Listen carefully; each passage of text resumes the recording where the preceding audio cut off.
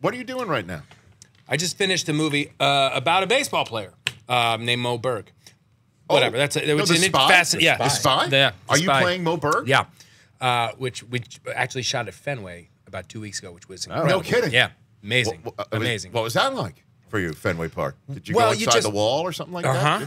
Yeah, it was. You know, to be in any of those historic parks, Yes. and Fenway especially, you look around and it was just it was incredible. Mm-hmm. And to think Moe Berg was standing right here. I was looking at pictures of him online, and I'm and it's like, oh yeah, there are the beams. There's the uh, Wow. the wall. How about the a- marks of the ball? That's on the wall? craziest thing, actually. I went over to the Green Monster, and you know, you, I was really looking at it up close. Yeah. And the thing is loaded with dents of baseballs, and all the dents you can see the imprint of baseballs and the stitching, and even the color, the red stitching. You can see on the No wall. No kidding. It's I've- it looks like it's been nailed by hailstones. I've never, I've never been inside that wall or so close enough yeah, to it's it. it's really cool. no kidding. Yeah. What's it like to play a Jewish catcher, Paul? What was it like? Did you have to? Did you? Have Well, to, you know, my yarmulke kept falling off. Jewish catcher. No, did you reach out to Lieberthal for any sort of? Uh, Ironically, Paul any is a sort of like? catcher. Did you? Did you? You know? Reach Reach out to Le- Le- Lieberthal for a little advice? Now I know what Kevin Youkilis felt like. Standing there at Fenway, the smell of matzah in the air. There was uh there it was uh it was amazing. It was truly Had to be. It was it was incredible.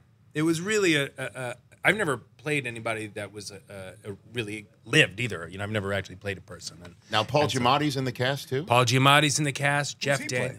He plays uh, a guy uh, named Goudsmit. Player? Okay. No, he's a scientist. This. It's a weird, you know, it's a science World War II baseball movie. Yeah.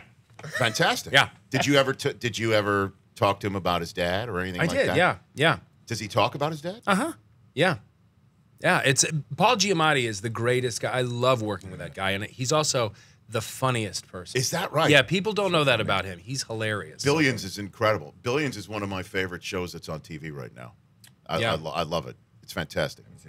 I- You haven't seen great- Billions, Bobby? I just don't watch a lot of TV. What do you mean you don't watch t- Watch, television? I'm watching Feud right now. Okay. Is that Feud. weird? That Bette Davis, Joan Crawford. Yeah. Oh, right, right. Yeah, that's weird.